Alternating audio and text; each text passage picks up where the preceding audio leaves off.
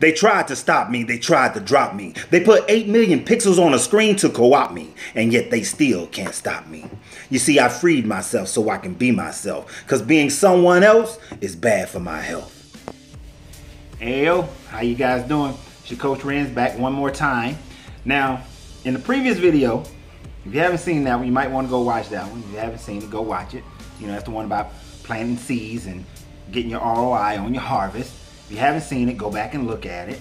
Then come on back over here and check this video out. Because at the tail end of that video, I said there's a difference between manifesting and creation. That's sweet elixir of life, baby. See, there's a difference between manifesting and creating. But before I get there, let me set the stage. You know, in my journey of a thousand steps, I often run against people who tell me a lot about what they want to accomplish and what they want to have. They tell me about the life that they envision, the things that are on their bucket list, how they want to travel the world and, and have nice cars and shop and, and have that loved one in their life and be in shape and be healthy. And, you know, they tell me so many things that they want to have. They tell me about that dream occupation or that business that they have that's ready to burst from the seams. They tell me all this all these things that's going around in a circle in their mind. So they're telling me all these things, and I'm listening. Then after I listen, I ask the question, what does your work ethic look like? How many hours a day do you spend working on what's going to achieve these dreams? You see, this title says something to the effect, because I haven't decided what the title's gonna be yet, about manifesting or manifesting or creating the amount of money that you want in order to leave your job and have the lifestyle that you want to have. The title will be some amalgamation of that.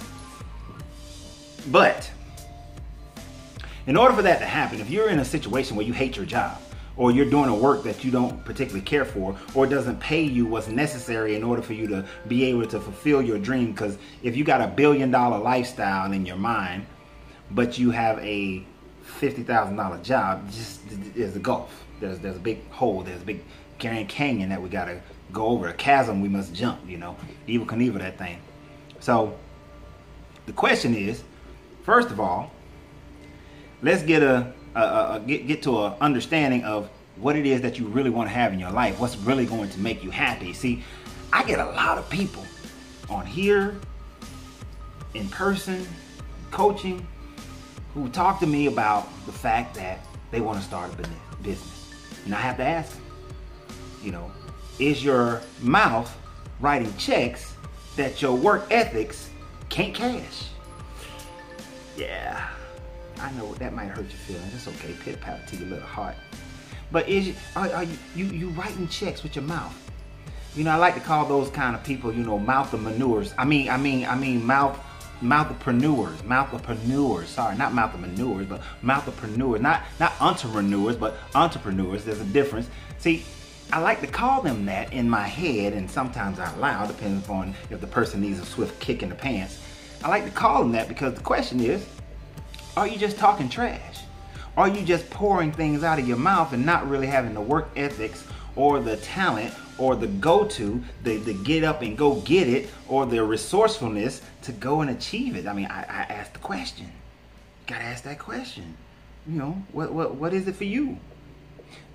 The thing about it is, if you want to manifest something, you got to have a certain type of ethics about yourself in order to manifest it. But here's the thing, here's the here's the kick in the pants. Manifesting is not about creating something. You see, the house that you want to have in life is already created. The the person, your soulmate, already created. The the clothes created, the cars created, the places you want to visit already created.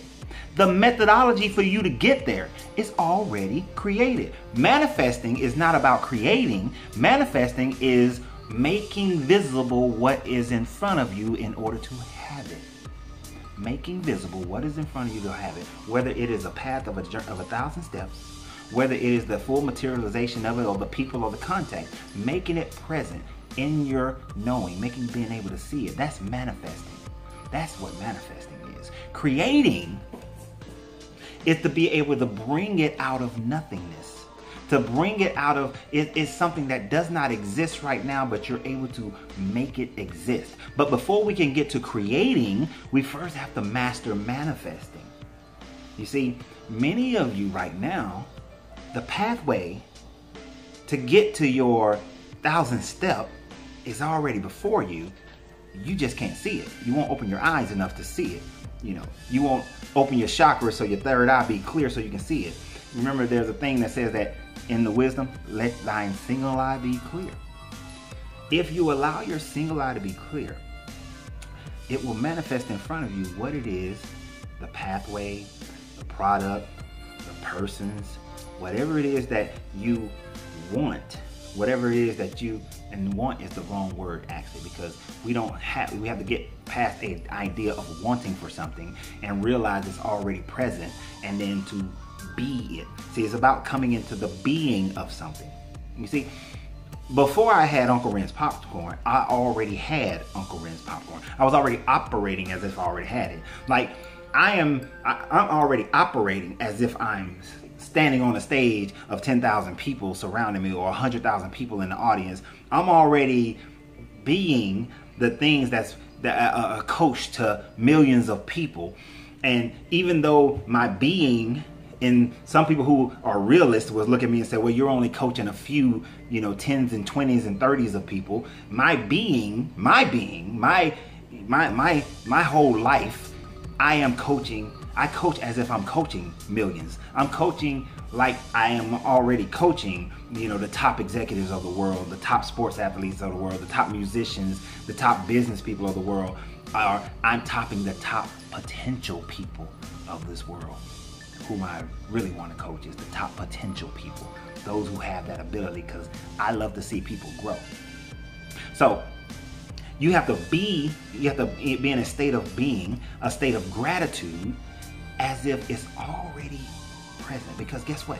It is. All time has already occurred. All things are already present for you. The roadway to your house, the roadway to that house, to, to that car, to that person, to whatever it is you want in life is already present. You just have to open up your eyes to see it. And if you need somebody to go along that path of a thousand steps with you so that you can manage the 10,000 things in order to get there, then open your eyes to see it so that you can have that in your life. See, many people, like I said, are writing checks with a mouth that they work ethics won't cash. But you got to open up your third eye, open up your chakras, clean your aura, which means remove negativity from around you to be able to do that. So I hope you guys have a great day. Enjoy yourself. But as you enjoy yourself, remember if you want it, don't write checks that your mouth can't cash. Write checks your mouth can cash. Write checks that your ethics can cash. Y'all have a great day. Enjoy yourselves. This is your Coach Ren. Namaste.